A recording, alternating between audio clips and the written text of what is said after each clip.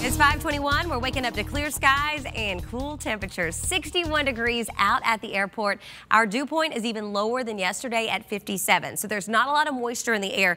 You may notice yourself needing that extra lotion, the lip balm, or even drinking extra water because we are picking up very dry conditions. Winds right now are light. However, they will shift out of the south today, drawing in just a little bit more in the way of our moisture content. Tappahannock, you're coming in on the cool side, 63, 54 over in the Tri-Cities, 52 in Louisa, Charlottesville at 59, Staunton, you're back in the 40s, 49 degrees to start off your morning. So, of course, we are cooler than yesterday. And if you combine those two mornings together, that's around a 30 degree difference in a handful of spots. So, definitely cooler than where we have been. Now, this afternoon, despite the cold start, we're going to warm up quite nicely because remember, your dew point is low. Even though it will slowly go up throughout the day, you still got a lot to work with. We're going to fluctuate these temperatures. So the key is to layer your clothes because by the afternoon, we're heading into the upper 80s, even low 90s. Now, this evening, as the sun goes down, we're still going to hold steady in those 70s and eventually get back into the 60s because of that moisture content. We don't fluctuate as much.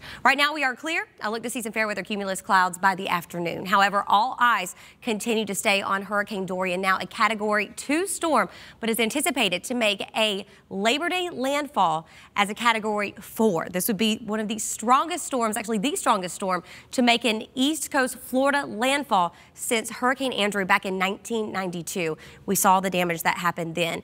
Please make sure that you are encouraging others to evacuate, and we're praying for safety for everyone that does stay behind. As far as the system, it's going to linger over Florida, and it's going to draw in a lot of rain. Of course, with hurricanes, we also have some spin tornadoes. I anticipated to hug the East Coast as we head on into your Friday, and then eventually we could see some of that moisture into our vicinity, but that would not be until around seven to 10 days from now because once it does make landfall, it's still going to move pretty slowly. We've got nice conditions for us over the next several days. 89 today, 90 tomorrow, 87 on Sunday, but it's going to feel like those 90s because we will have a little bit more in the way of our dew points. A slim chance for an isolated shower Monday. Majority of you will be dry and the 90s are back Tuesday as well as Wednesday.